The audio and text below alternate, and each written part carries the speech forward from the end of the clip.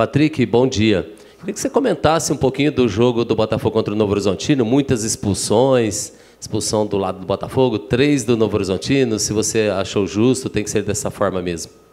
Bom dia. É, cara, assim, acho que os lances de expulsão foi muito de dois amarelos, né? Então acaba que são faltas reincidentes, acaba que a gente não tem muito controle disso, às vezes uma agressão, uma expulsão por agressão, a gente tem mais o controle. Mas, assim, foi um jogo bem diferente, né, cara? Quatro expulsões, um jogo meio louco até. É, a gente teve bastante controle do jogo também devido às expulsões, a gente foi para cima, buscou o resultado. Infelizmente ele não veio, né?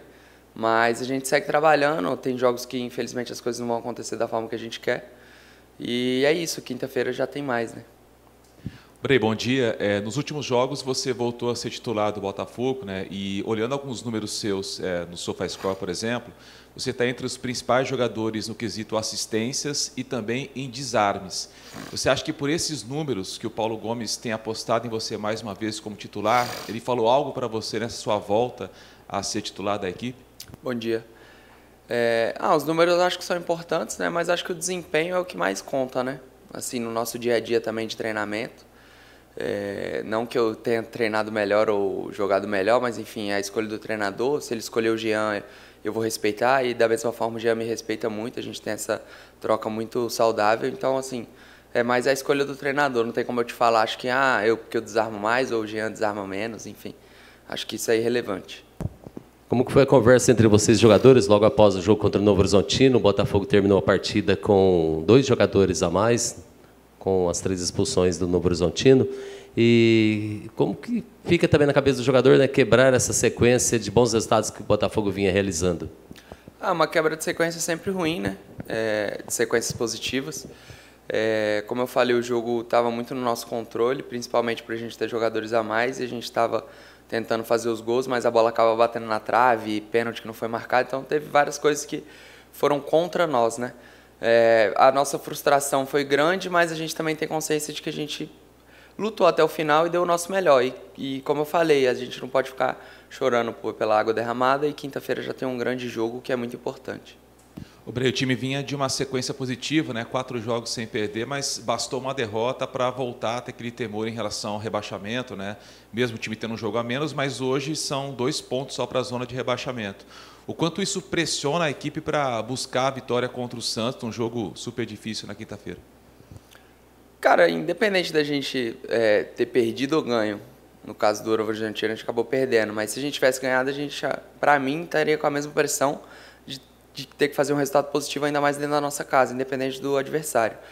E como você falou, a gente está dois pontos e às vezes uma vitória quinta-feira já muda o cenário, o futebol é muito rápido. Então não dá para a gente ficar também pensando muito. Acho que o próximo jogo é sempre o mais importante e a gente vai seguir assim até o final. Em relação a esse jogo contra o Santos, Botafogo já no primeiro turno conseguiu vencer bem o Santos lá na cidade de Londrina. Como que já está sendo a conversa entre vocês jogadores para esse jogo contra o Santos? Pode passar alguma novidade, alguma conversa que o Paulo já passou para vocês? Cara, novidade assim não tem muito, é mais a questão da gente realmente é, estar focado e desempenhar da melhor forma. Como eu falei no último jogo, a gente tentou de todas as formas, as coisas acabaram não acontecendo. Acho que a gente fez um grande jogo, mas enfim, é, futebol às vezes é imprevisível, nem quem sempre joga melhor ganha ou quem joga pior ganha. Mas quinta-feira é um jogo que a gente tem consciência de que a gente tem condições de ganhar, como a gente ganhou já jogando fora de casa, a gente pode ganhar jogando em casa. E a Série B é assim, tem vários adversários, a gente tem consciência de que a gente pode ganhar de todos e tem consciência que também pode ser difícil não ganhar. Mas a gente vai dar o nosso melhor para vencer esse jogo que é muito importante. Ô Breno, é de hoje que o Botafogo tem sofrido com desfalques, né? Para quinta-feira são pelo menos nove e pode aumentar até para onze, né? Tem a questão do Alexandre, do Toró também, né? É, e eu queria que você falasse também, não só sobre isso, mas sobre os casos mais graves, né? Que são lamentáveis, né, os últimos, o Matheus Barbosa, o Matheus Costa, né, que ficam aí oito, dez meses parados, né, como vocês é, conversaram com esses jogadores aí nos bastidores, né, para dar força também, né, porque realmente é uma lesão que é super complicada para o jogador, né? É, cara, sobre isso, assim, 11 desfalques são bastantes, né, para o decorrer da temporada. Acaba que, com certeza, isso influencia de alguma forma. Mas a gente não pode ficar murmurando e nem ficar pensando muito nisso, né? Porque a vida segue, quinta-feira já tem jogo, como eu falei. E essas lesões mais graves são muito ruins, cara. A gente sente como se fosse a gente mesmo. A gente está no dia a dia com os caras. Pô, é, é algo inexplicável. É só pedir para Deus mesmo confortar o coração deles, da família. E a gente poder ajudar de alguma forma. Que às vezes não tem nem o que você falar, né? Mas, assim, é muito triste mesmo. Muito mesmo.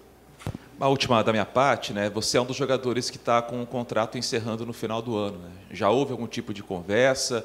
O seu desejo particular é de continuar no Botafogo, estender o vínculo? É, como é que está em relação a isso? Cara, eu deixo muito mais isso meu empresário. Assim, relação pessoal, gosto muito daqui, gosto muito do clube. Isso aí não teria problema nenhum em ficar, ia gostar sim. É, mas essa questão eu estou deixando mais para o empresário e tentando concentrar aqui mesmo para fazer um grande trabalho aí.